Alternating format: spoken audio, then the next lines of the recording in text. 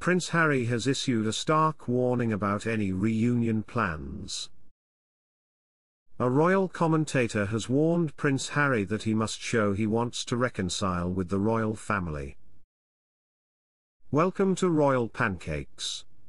Please don't forget to subscribe and click the notifications bell, so you don't miss anything about the British royal family.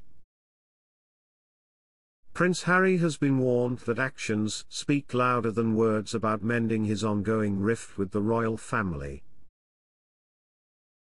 The Duke of Sussex appeared on Good Morning America this week saying he loves his family and suggested that his father's cancer diagnosis could have a reuniting effect for the royal family.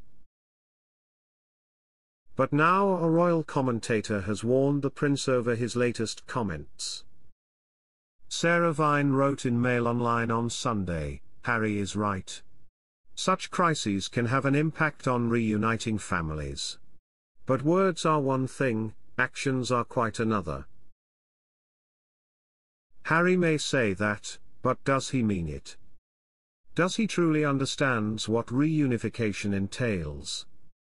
If his recent actions are anything to go by, then no. She added, Words are not enough, you have to show that you mean it. You must also understand that sometimes it's not about you, it's about the greater good of the family. According to reports, the 39-year-old Duke of Sussex has indicated to friends that he plans to return to Britain to help with royal duties while his father receives cancer treatment.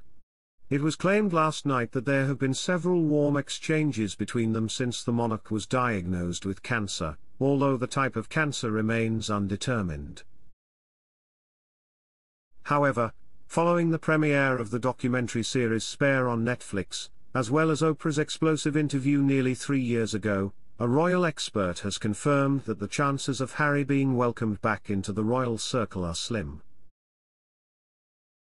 Dickie Arbiter, Queen Elizabeth's former press secretary, said he did not see an invitation coming from the family, adding in the late Queen's words, you're either in or out.